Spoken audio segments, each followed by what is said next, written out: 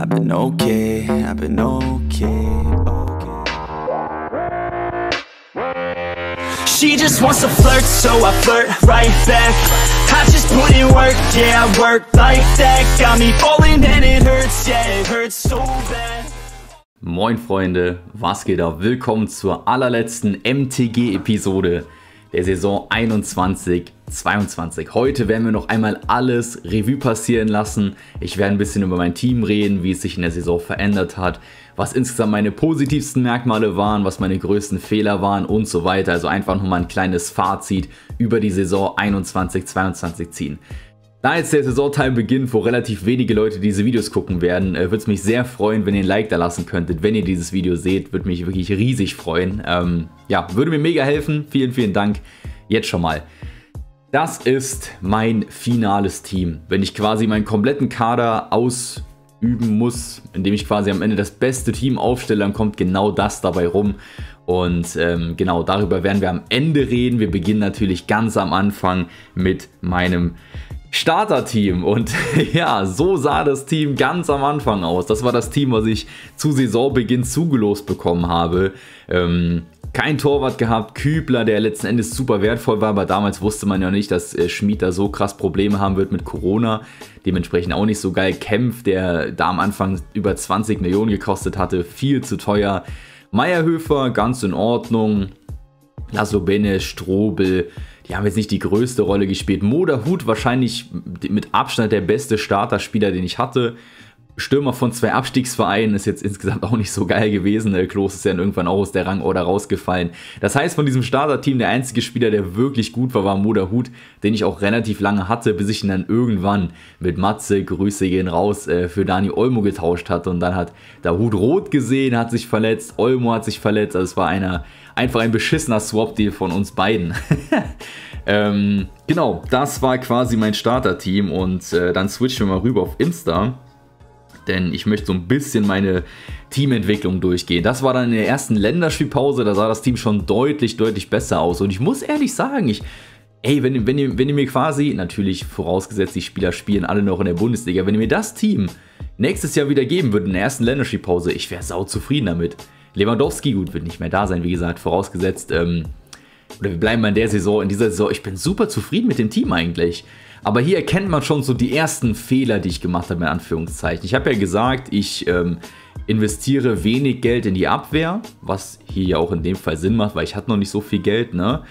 Aber ich habe halt auf super, super viele Risikospieler gesetzt. Ein Daniel Mahlen, der ist okay, der war auch geil, mit Abstand der geilste Kauf, hat meine Saison extrem geprägt, aber zum damaligen Zeitpunkt halt 30 Millionen in einen unsicheren Spieler am Anfang zu investieren, hm, Deswegen sage ich auch die ganze Zeit so Karim Adeyemi. Ich weiß noch nicht, ob der wirklich so ein sinnvoller Kauf am Anfang der Saison sein wird. Äh, noch dazu ein Massimo, der super unsicher war, ein Conny Leimer, der super unsicher war, ein Haraguchi, der super unsicher war, ein Paulinho, der super unsicher war. Also das, das hat mir auch mit Abstand den Saisonstart gekostet, denn ähm, wenn wir uns das Ganze hier in Kickbase ansehen, auf meinem Profil, da sieht man hier gegen Ende lief es ja super. Aber gerade hier so die Anfangsphase 560 Punkte, 570 Punkte. Dann zwei Ausreißerspieltage, dann wieder 800, 500, 700, 900, 800. Und erst, dann erst am 10. Spieltag ging es so richtig los mit den guten Punkten. Aber gerade diese Anfangsphase hier, da habe ich viel zu sehr auf Gambler gesetzt. Ähm, also ich habe wirklich immer probiert, halt Spieler reinzuholen. Ja, natürlich, ein Paulinho hätte auch mega einschlagen können, ne? hat er aber letzten Endes nicht. Und es ist immer okay, das ist schon, schon so der erste Rückschluss, ähm, es ist immer okay, Gambler im Team zu haben. Man darf es halt echt nicht übertreiben, so wie ich am Anfang der Saison. Das hat mir, wie gesagt, dann gerade am Anfang sehr stark das Genick gebrochen.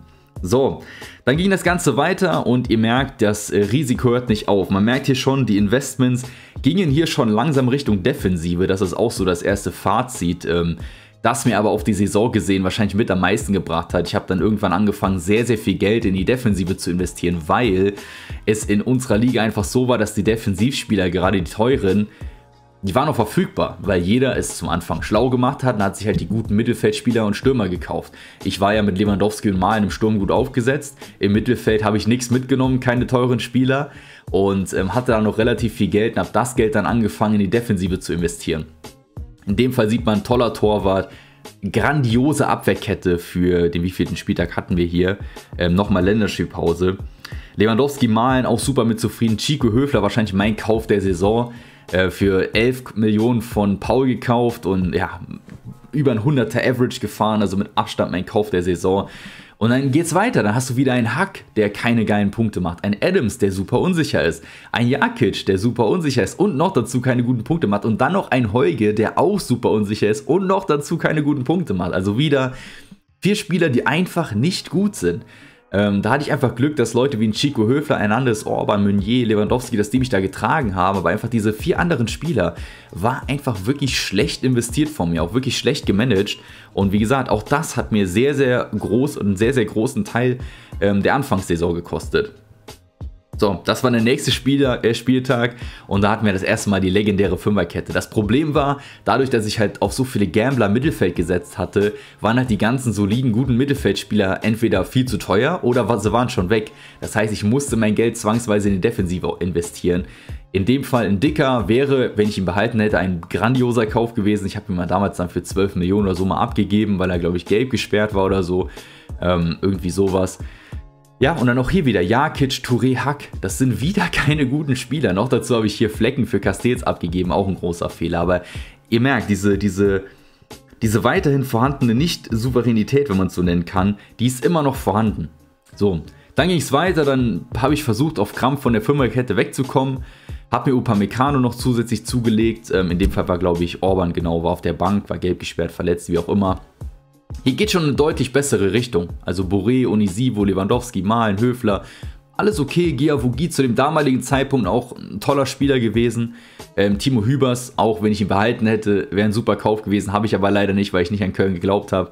Und auch im Tor bin ich dann mit Krobel gegangen, wobei Torwart jetzt insgesamt würde ich als relativ ähm, irrelevant einschätzen. So, dann hatten wir hier das äh, legendäre Big Donny Daniel Malen Video.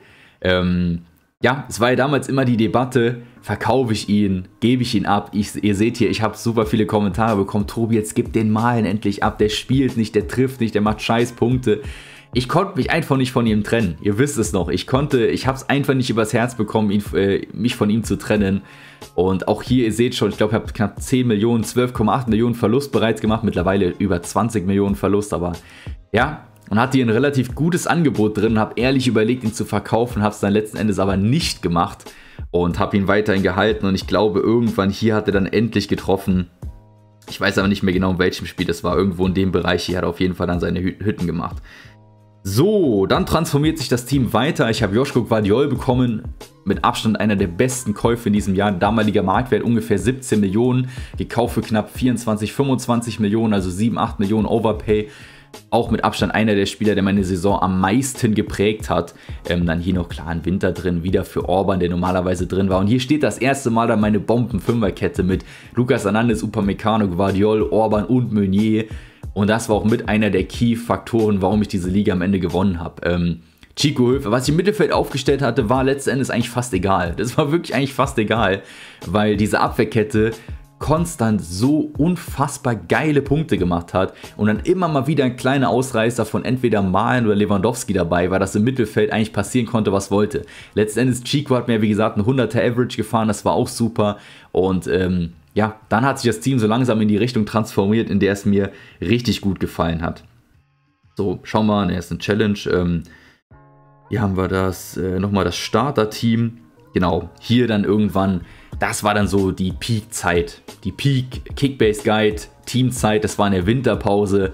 Und hier hatte ich dann mein perfektes Team erreicht. Wie gesagt, die bombastische Fünferkette mit Guardiol, Orban, Meunier, Upamecano, Lucas Hernandez im Mittelfeld, dann irgendwann mit Kampel, ähm, Andrich und Chico Höfler auch bombastisch und dann noch ein Armin Adli als Gamble-Spieler zu dem Zeitpunkt noch sehr interessant, Lewandowski, Malen, Paulsen in der Phase, wo André Silva schlecht war. Also hier war dann irgendwann so das finale Team erreicht und dann hat sich eigentlich Abwehrkette, irgendwann hat sich Meunier verletzt. Ähm, aber die anderen vier sind ja bis heute noch in meinem Team, genauso wie Kampel, Höfler, Lewandowski, Malen. Also seitdem hat sich nicht mehr so viel verändert. Es gab dann noch den Paulsen Klostermann für Grillic Swap und 20 Millionen. Und ansonsten, wie gesagt, hat sich mein Team ab dann nicht mehr großartig verändert. Und ähm, Genau, hier seht ihr es nochmal. Das, erstmal hier, Freunde, wie schön ist da oben dieser Stern über dem Namen. Es macht mich so glücklich. Ähm, hier seht ihr nochmal das finale Team. So würde ich es jetzt Stand jetzt aufstellen. Wie gesagt, Meunier leider durch die Verletzung raus. Super Mittelfeld. Wir können auch statt Choboslai nochmal einen Kampel reinstellen. Mit Andrich, Höfler, Kampel. Ja, und äh, finales Fazit, was das Team angeht.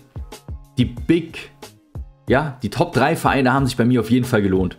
Also Bayern, Dortmund, Leipzig hat sich über die komplette Saison mega ausgezahlt. Also zu, nem, zu meinem Peak hatte ich ja quasi von Bayern Lewandowski, Hernandez, Upamecano, von Leipzig Kampel, Guardiol, Orban und von Dortmund Malen, Meunier, Kobel. Das war super geil. Ich musste mir fast an keinem Wochenende Gedanken machen, weil eine der Mannschaften hat immer sehr, sehr gut performt und die anderen haben nie schlecht performt. Das heißt, es war die Phase, wo ich eigentlich jedes Wochenende mindestens meine 1000 Punkte gemacht habe. Und das war letzten Endes meiner Meinung nach auch der ausschlaggebende Punkt, warum ich diese Liga gewonnen habe. Ähm, auch ganz, ganz klare Kiste. Ja, beste Käufe, ich bleibe dabei, Robert Lewandowski. Ähm, nächstes Jahr wird er nicht mehr in Kickbase sein. Ich bin wahnsinnig happy, den zu haben. Manch jetzt steht hier schon nicht mehr gekauft für, weil äh, die neue Saison sozusagen angebrochen ist. Ist das eine Neuerung? Ach krass, okay. Ähm, das zählt dann quasi jetzt schon als Starterteam. Ich habe ihn gekauft für 78 Millionen, mit Abstand der beste Kauf, den ich hätte machen können. Äh, Donny Mal damals gekauft für knapp 34 Millionen. Natürlich bin ich nicht happy mit, mit ihm und seinen Punkten, das, das kann man ja nicht sagen. Aber hey, ich hatte mit einer der geilsten und lustigsten Saisons mit ihm. Die, die Memes waren der Hammer, die Interaktionen waren der Hammer. Also insgesamt, ich bereue diesen Kauf 0,0. Klar, wenn ich jetzt Zweiter gewesen wäre mit knappem Hinter äh, Abstand, dann hätte ich mich natürlich aufgeregt, weil ich zu dem Zeitpunkt für dasselbe Geld hätte ich zum Beispiel einen Grifo bekommen können. Das weiß ich auch ganz genau. Der ging bei uns für knapp eine Million über Marktwert oder Maxi Arnold. Ähm, oder vor allem halt Grifo. Grifo hat knapp 4000 Saisonpunkte gemacht. Das wäre natürlich der mit riesigem Abstand bessere Kauf gewesen. Hätte ich für 30 Millionen bekommen. Für Malen habe ich 34 Millionen bezahlt. Aber Freunde, ich hatte den Spaß meines Lebens mit dem Bub und ähm, von daher bereue ich da wirklich überhaupt nichts. Unisi wollte ich auch sehr, sehr lange. Und die restlichen Dinger hier, die wurden immer ausgetauscht. Aber gerade hier Höfler, Andrich, Kampler mich auch sehr, sehr lange begleitet. Und mit denen bin ich natürlich auch sehr happy. Ähm, größter Fehlkauf, ihr seht es jetzt schon gar nicht mehr, äh, Sagadu gekauft für 28 Millionen. Ich habe Günther dafür abgegeben. Er hat mir in vier Spielen 4, 51, 60 und 87 Punkte gebracht. Während, äh, also muss dazu sagen, ich habe da ja nochmal 20 Millionen Verlust mitgemacht. Habe einen Günther für knapp 3, 4 Millionen über Marktwert verkauft, der mir in derselben Zeit 258, 280, 63 und 37 Punkte gemacht hätte. Von daher, ähm, tut weh, aber was soll man machen? Das ist mit Abstand so der größte Fehlkauf, aber da war die Relevanz jetzt auch nicht mehr so hoch, wenn man ehrlich ist. Und äh, genau, das fasst eigentlich perfekt mein Team über die Saison zusammen. Wir gehen natürlich noch einmal hier auf die Tabelle. Die Spieler sind schon rausgelöscht, die abgestiegen sind und El Jonti und Jonathan sind auch schon raus, die ähm, aufhören werden. Ihr seht schon hier Hannes, Pascal, Black Mamba und Jackie neu in der Champions League. Dazu wird es dann aber auch in näherer Zukunft noch Videos geben. Ihr habt weiterhin die Möglichkeit, euch zu bewerben. Einfach mein Insta. Ähm, Post vor ein paar, paar, Wochen abchecken. Müsste so ein rotes Logo hier sein. Ähm, hier, genau, rotes Logo, Community liegen, einfach hier auch nochmal für euch hier in den Videos. Wichtig, kickbaseguide.gmail.com, nicht the kickbaseguide.gmail.com, das ist meine Business-Mail, bitte da nichts hinschicken, das ignoriere ich sonst. genau, hier habt ihr nochmal die Möglichkeit, wie ihr euch bewerben könnt und ja, wir schauen uns noch abschließend die Battles an. Insgesamt habe ich nur siebenmal den Spieltag gewonnen.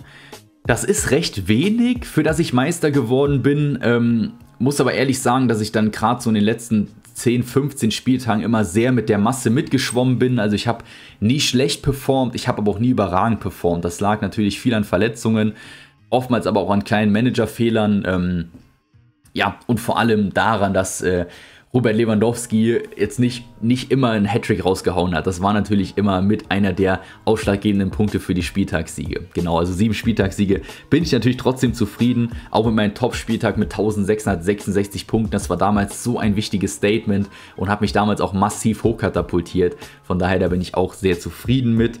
Ähm, angriffslustig, na klar, durch Lewandowski eben hauptsächlich gewonnen. Allein der hat ja schon fast 6000 Saisonpunkte gemacht. Im Mittelfeld seht ihr, habe ich kaum Punkte gemacht. Ähm, ja, bin ich jetzt letzter, aber glaube ich nur noch Jona hinter mir. Ansonsten alle über mir äh, mit 8700 Punkten. Da habe ich aber auch über das komplette Jahr sehr, sehr wenig Wert drauf gelegt. Wo ich nochmal Wert drauf gelegt habe, natürlich die Abwehr. Da habe ich auch 14.000 Punkte geholt. Und das auch nochmal als Learning. Die Fünferkette kann sich lohnen. Ich präferiere weiterhin Offensivspieler natürlich. Das ist ja rein logisch. aber ich sage jetzt nicht mehr, okay, ihr müsst wirklich gefühlt eure Niere verkaufen für Offensivspieler, wenn ihr, wie in meinem Fall in der Saison, da war auch viel Glück dabei, Defensivspieler von den Top-Vereinen für relativ wenig Geld bekommen könnt. Das äh, ist auf jeden Fall ein Learning, das ich ziehen würde. Und auch beim Torwart bin ich am Ende auf Platz 2 gelandet, da bin ich auch sehr zufrieden mit. Genau, gibt es noch sonst was, was ich hier zeigen kann? Ähm, von mir aus noch den, den äh, Platzverlauf hier. Relativ schlecht angefangen und dann progressiv gesteigert. Und ähm, genau, dann ab dem, was ist es, 17. Spieltag, also genau ein Spieltag vor der Winterpause, Platz 1 gewesen und seitdem auch diese Platzierung nicht mehr hergegeben. Was wir uns ganz schnell noch angucken können, ist der, ähm, das Pferderennen von Pascal. Vielen, vielen Dank fürs Erstellen. Das ziehen wir uns jetzt nochmal ganz schnell rein. Also nochmal danke an Pascal. Ich finde es jetzt gerade nicht, aber äh, wir schauen uns auf jeden Fall nochmal den Saisonverlauf in der Champions League an. Denn das können wir auf jeden Fall sehen. Und hier sehen wir noch einmal den Verlauf. Also gerade am Anfang natürlich stark dominiert von Jonathan, Paul und Ruben. Jan war auch sehr, sehr lange Zeit vorne mit dabei. Und dann hier Showlauf ab dem 17. Spieltag. Habe ich die Führung nicht mehr abgegeben. Nochmal vielen, vielen Dank an Pascal fürs Erstellen. Ich finde es überragend. Und äh, ja, Paul blieb die ganze Zeit vorne mit dabei. Matze hat auch eine tolle Saison gespielt. Matze halt nie irgendwie Erster gewesen, aber es war halt immer relativ eng. Also Matze auch jemand, den ich für nächstes Jahr sehr, sehr ernst nehme.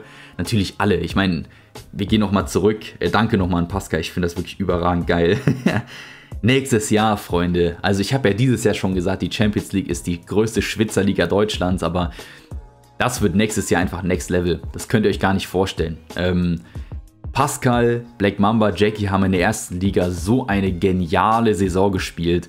Dann kommt noch ein Hannes dabei, der gefühlt sein halbes Leben da rein investieren wird, mir das Leben zur Hölle zu machen. Den geht es wahrscheinlich gar nicht darum, hier irgendwas zu gewinnen. Der will nur mich fertig machen. also die vier Leute, die hier neu dabei sind und dann natürlich vor allem die Leute, die jetzt schon die komplette Saison mitgespielt haben. Ne? Also ich meine, wenn man das mittlerweile sieht, Jan war mit einer der besten Manager. Am Ende ist Felix trotzdem noch auf 1000 Punkte rangekommen. Auch äh, Claudio ist knapp an Felix dran und Luke hat in der Saisonendphase meiner Meinung nach mit, ähm, mit riesigem Abstand am besten in der kompletten Champions League gemanagt. Also Luke hat eine der besten Saisonendphasen gespielt, die ich jemals in Kickbase gesehen habe. Also Freunde, das wird nächstes Jahr wird das heftig. Das wird richtig heftig. Aber ich freue mich massiv drauf und ich hoffe, ihr freut euch auch drauf. Das war es dann hier final mit der letzten MTG-Episode für dieses Jahr. Das Ganze wird dann wieder so im Juli weitergehen mit den ersten MTG-Episoden, wenn es dann Richtung Trading geht, Tipps und so weiter. Da geht es dann, wie gesagt, wieder Anfang Juli los. Ähm, auch hier nochmal, ich habe mich gestern schon viel bedankt. Ähm, danke an jeden einzelnen von euch für den Support, fürs Liken, für diese Episoden zu gucken für die Nachfragen, wie es in den anderen Ligen aussieht und so weiter. Hat mich riesig gefreut. War eine mit Abstand die beste Kickbase-Saison, die ich jemals gespielt habe. Wirklich vielen, vielen Dank äh, für den kompletten Support über die komplette Saison. Das war's mit der letzten MTG-Episode. Wir sehen uns dann im Juli wieder, was das angeht. Es wird natürlich noch andere Videos gehen. Haut rein bis dann, Freunde. Und ciao, ciao. I have a dream, that's all I need I'll make it happen with some work and belief Know what I want, so I'll take it on I've made mistakes, but mistakes make you strong. Let's break it down for a minute. I want the crown, I'm gon' get it. You hear me loud,